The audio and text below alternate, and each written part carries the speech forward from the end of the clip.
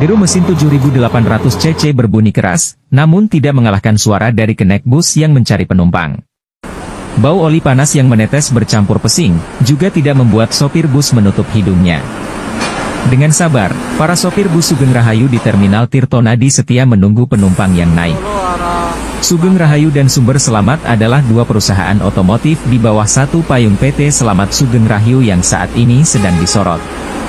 Dalam bulan-bulan lalu terakhir, sudah empat kali mereka terlibat kecelakaan. Mulai dari adu banteng dengan bus Eka di Ngawi dan terkini bus Sugeng Rahayu menghajar sebuah rumah makan di daerah Seragen. Karena kerap terjadi kecelakaan itulah, PO ini kerap mendapat cacian dan makian dari masyarakat, terutama yang disampaikan melalui media sosial.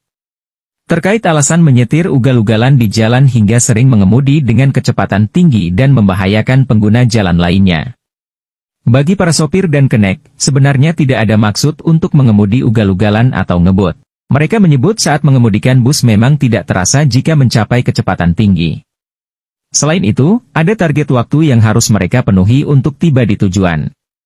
Menariknya, meskipun sedang disorot karena kerap mengalami kecelakaan, para sopir menyebut jumlah penumpang terus konsisten bahkan ada kenaikan.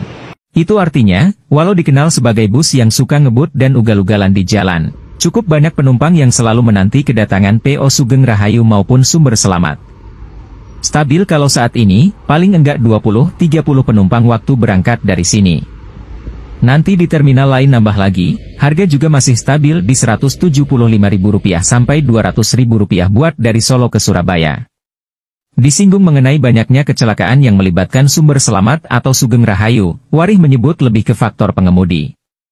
Ia juga menilai, tidak semua sopir dari sumber selamat atau Sugeng Rahayu mengemudi secara ugal-ugalan.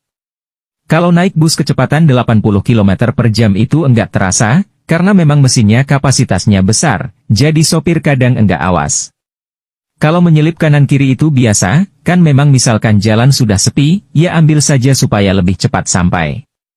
Enggak semua seperti itu juga, kan sopir itu juga ingin pulang dengan selamat.